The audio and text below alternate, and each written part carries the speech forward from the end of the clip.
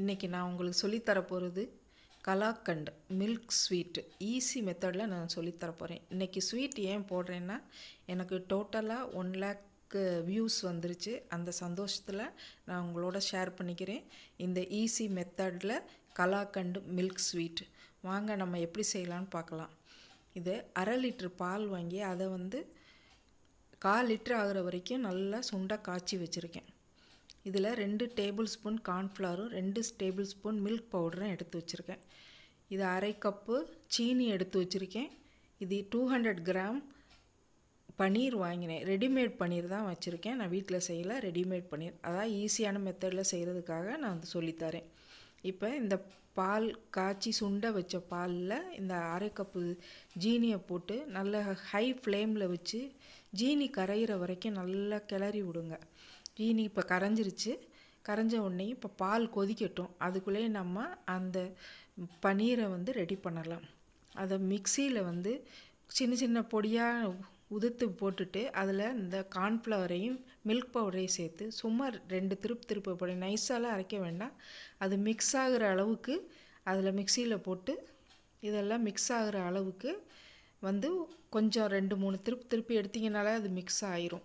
ரொம்ப நைஸாலாம் அரைக்க வேண்டாம். அதை மிக்ஸ் பண்ணுறதுக்காக நான் அதில் போட்டிருக்கேன். இந்த மிக்ஸ் பண்ணி எடுத்து வச்சுட்டேன். இந்த மாதிரி பதம் பார்த்துக்கோங்க. கொஞ்சம் உதிரி உதிரியாக தான் இருக்கும். ஸ்வீட்டு கூட அந்த கலாக்கன் ஸ்வீட்டும் இப்படியே தான் இருக்கும். நீங்கள் அதை பார்த்து கடையில் வாங்கி பார்த்தீங்கன்னாக்கா தெரியும்.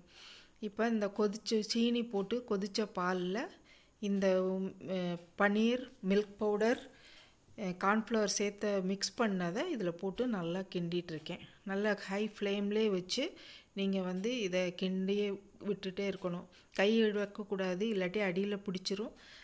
கலர் மாறி போயிடும் பிடிச்ச மாதிரி வாடை வந்துடும் மில்க்குங்கிறதுனால நீங்கள் கிண்டி விட்டுட்டே தான் இருக்கணும். இப்போ நான் கிண்டி விட்டு இவ்வளோ எல்லாம் சேர்ந்து ஒரு இடத்துக்கு வந்துருச்சு. இப்போ இதில் சட்டியில் ஒட்டாமல் வரும். இந்த பதத்துக்கு வந்த உடனேயும் நான் ஒரு ட்ரேயில் வந்து பட்டர் பேப்பர் போட்டு வச்சுருக்கேன்.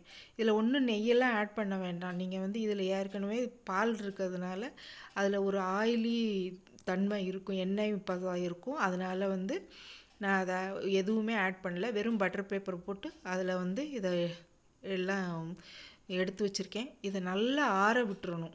உடனே கத்தி போட்டிங்கன்னாக்கா அது வராது. நல்லா ஆற விட்டணும்.